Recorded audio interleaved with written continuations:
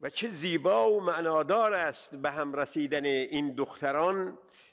این دختران الهام بخش تاریخ از پس اعثار و قرون.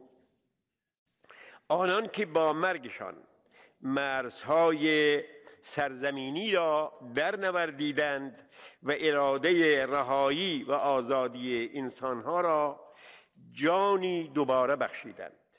We honor the 2023 laureates of the Sakharov Prize for Freedom of Thought. These are Gina Mahsa Amani and the Women Life Freedom Movement of Iran. Let me say that the courage and resilience of Iranian women in their fight for justice, liberty, and human rights will not be stopped. ژینا تجلی ژین و زندگی است یعنی تجلی زندگانی و زندگی است همو که نامش رمز رهایی شد و رؤیای آزادی را از زادگاهش کردستان به تمام ایران و خاورمیانه و جهان گسترانید.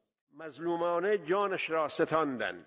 مظلومانه جانش را ستاندند و در خیال خود چنین پنداشتند که با ستاندن جان از کال بود از شدن او بودن باز خواهد ایستاد It is with regret that I must inform you Mahsa Amini's family were stopped from leaving Iran last Saturday and are under a travel ban imposed by the Iranian regime.